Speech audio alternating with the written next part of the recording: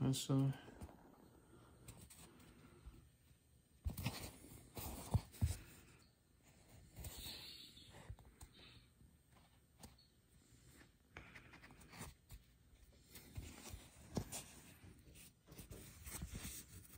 curved here, so it's not like it's this thick.